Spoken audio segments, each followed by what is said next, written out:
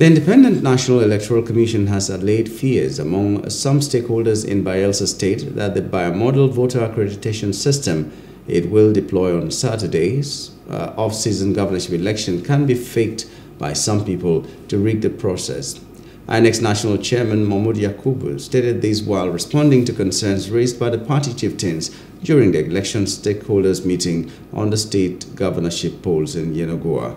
Yakubu, who was represented by INEC National Chairman supervising Bayelsa Ibom and River States, May Agbamuche Mbu, said the BVAS machines are customized.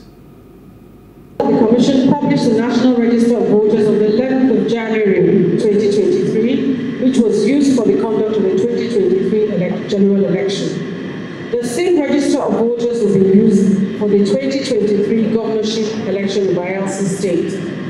The total number of registered voters in Bayelsa State for the governorship election is 1,056,862. 1,017,613 have collected their PVCs, with only 39,249 PVCs remaining uncollected in the state.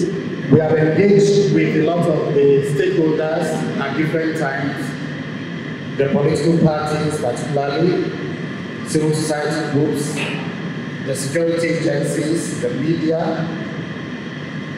and we've done all that we need to do at this time for the election to come up successfully.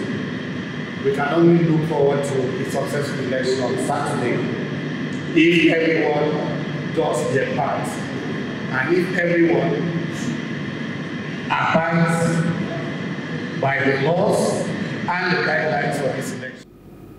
18 political parties that will feature in Saturday's Kogi governorship election have signed the peace accord ahead of the poll.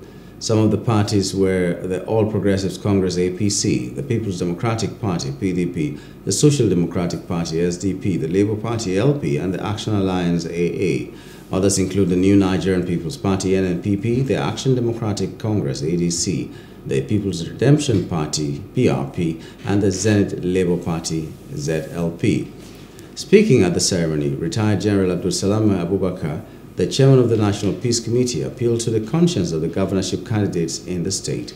Abubakar, represented by Cardinal John Onaiyekan, urged the parties to abide by the accord during the election. He said that he was beginning to have serious doubts on the seriousness and commitment on the part of candidates involved in the peace accord.